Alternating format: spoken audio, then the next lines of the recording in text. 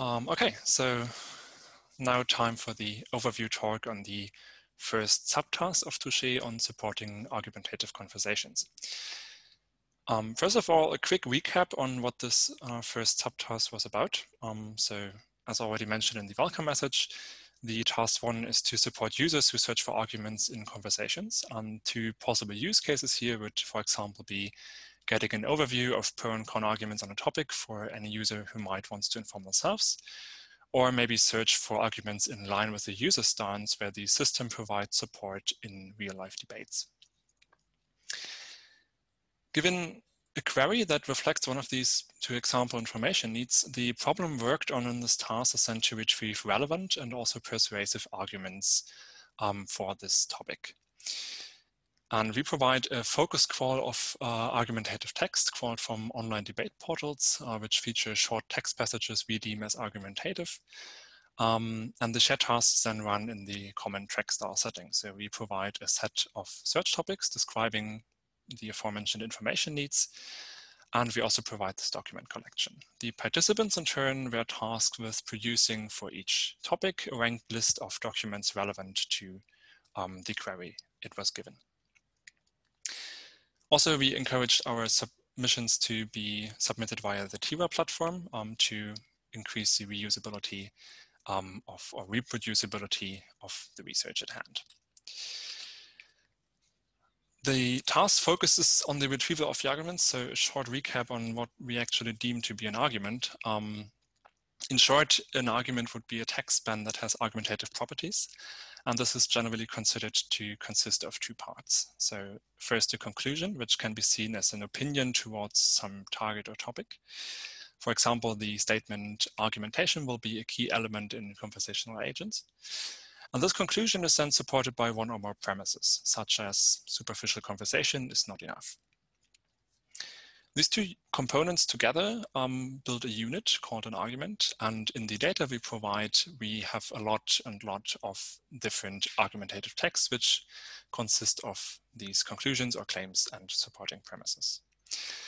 Now, argumentation is the process of combining such argumentative text spans into a conversation to either persuade or to agree upon some opinion or to come to a decision um, on oneself.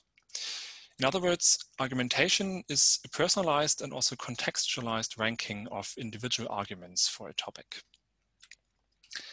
And these topics we model in the shared task by a set of possible search scenarios. In total, um, we accumulated 50 topics and they all follow the structure laid out here. So each topic has a title, which reflects a real user's information need and um, is the actual text query entered into the retrieval system. Then we have a description, uh, which serves to provide more details on the particular search scenario um, to provide more context information. And we also have a narrative, which um, provides guidelines to the human assessors, which will later on um, decide which documents are relevant and which documents are not in the evaluation of the task. Given that it is a track style task, uh, we not only provide topics, but also a document collection. In our case, it was the ArgsMe corpus.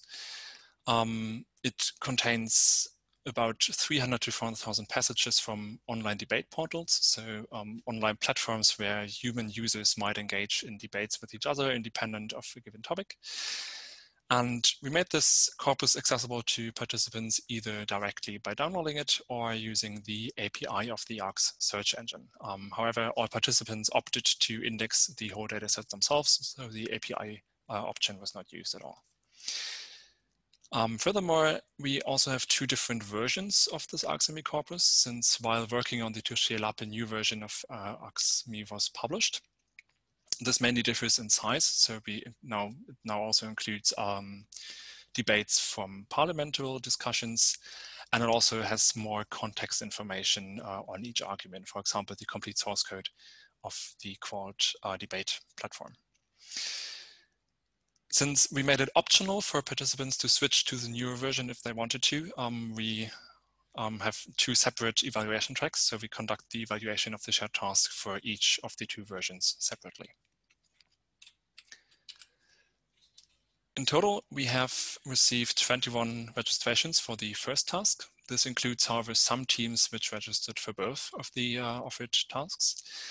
And yes, as I already mentioned, we used the common Touché theme to assign nicknames, in this case, real or fictional fencers um, or sportsmen. Um, we had 13 teams actively, actively participating by submitting a run um, or a working software system on the Retriever platform. And note that we also allow teams to submit more than one approach. So we wanted to foster a diverse approach, so teams might uh, submit different parameter optimizations, for example, for the evaluation.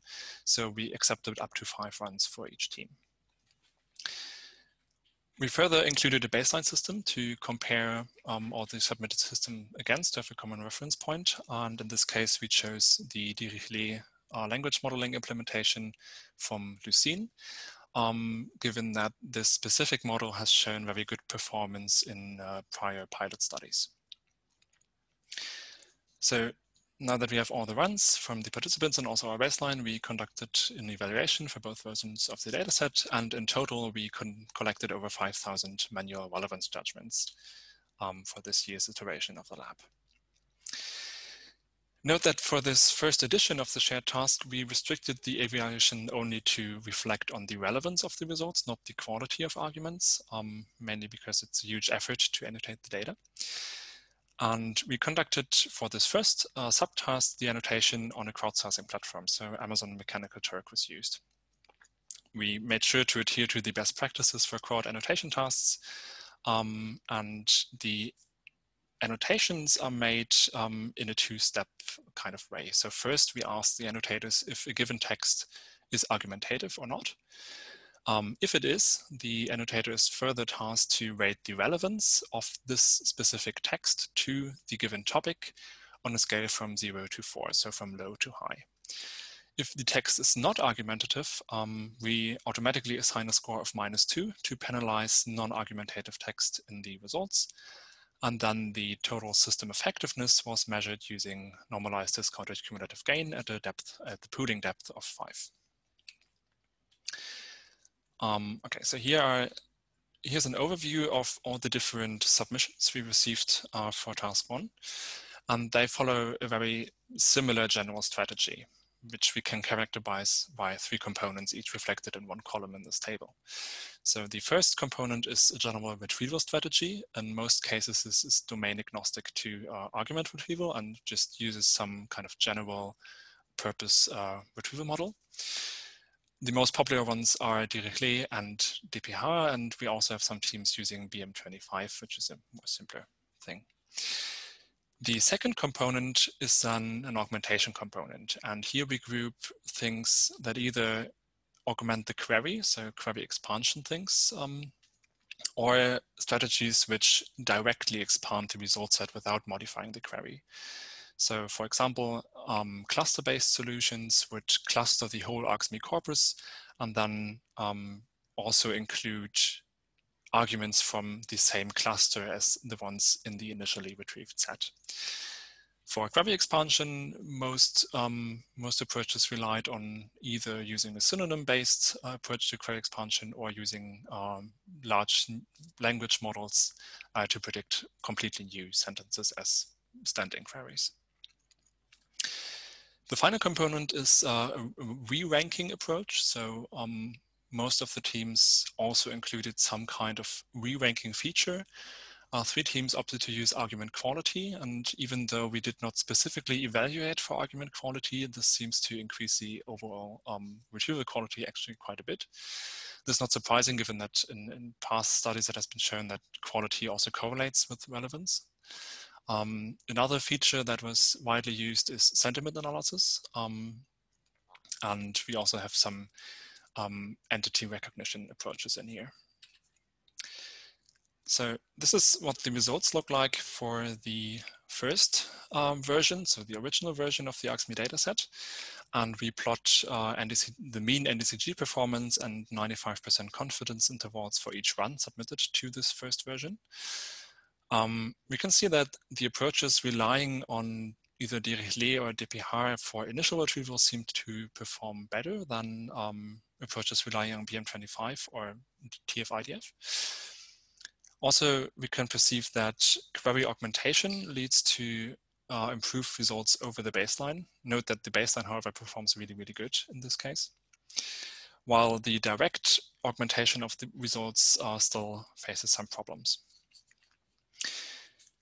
Um, even though we did not evaluate for argument quality directly, as I already mentioned, um, approaches which rank by argument quality are also slightly higher up in the rankings here. We have also a group of highly experimental neural approaches. Um, however, these still suffer from the very limited amount of training data available. So we are curious to see what future iterations of Touché might bring to that, given that we will make the uh, relevance annotations for this year available as training data for the next one. For the second version of the Args data, Args data set, we get a very similar impression. Um, once again, query augmentation in conjunction, in conjunction with based our standard retrieval models uh, seems to perform best. And also in this case, neural approaches still face some challenges that need to be revisited. In total, six teams submitted a paper describing their approach, and they are listed here for reference. Um, most notably, the two papers exploring argument retrieval with transformers and the other paper ranking arguments by combining claim similarity and argument quality dimensions will be presented later on in this uh, workshop session by their authors. We additionally performed the analysis of averaged retrieval effectiveness over all topics, um, or over all systems for each topic rather. However, at a first glance, it is difficult to say why certain uh, topics have a better retrieval performance than others, uh, or perform better or worse than other topics. We assume that this might be caused by the number of argument passages in the qual data. So as already illustrated in the keynote talk, the systems can only be as good as the data that is uh, behind it. So for very complex topics, there might not be enough data in the um, in the data set to adequately answer these, or the data set is limited in such a way that um, systems just find the optimal things and uh, therefore all perform pretty well. To summarize uh, or to conclude on, on this overview on the uh, first lab, um, all participants indexed the data themselves and most participants used the smaller initial version of the ArgsMe corpus. Another surprising thing rather is that the very simple and argumentation agnostic baseline performs uh, so well.